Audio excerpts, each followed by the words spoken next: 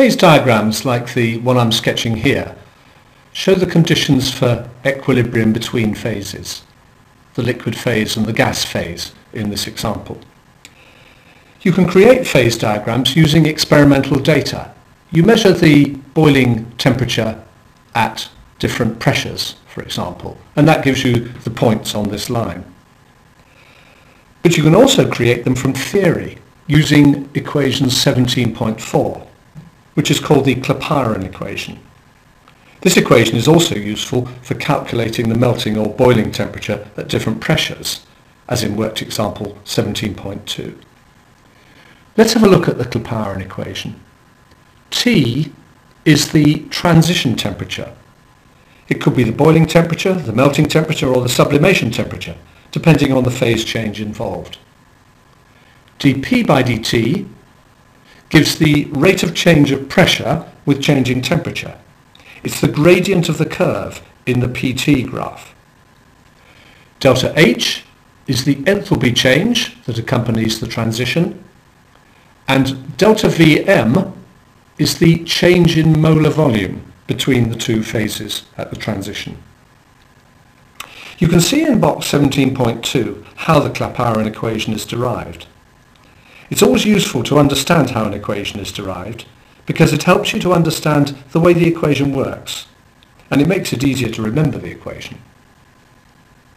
The starting point for deriving this equation is dgm equals Vm dP minus Sm dt, where dgm is a small change in the molar Gibbs energy.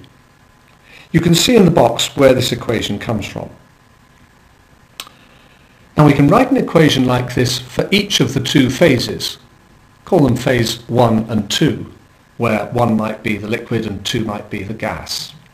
And the equations have the same form and they're written here. But we're interested in the situation at equilibrium between the two phases, which is shown by the line between the phases in the phase diagram. And at equilibrium, dgm for phase 1 and dgm for phase 2 are equal.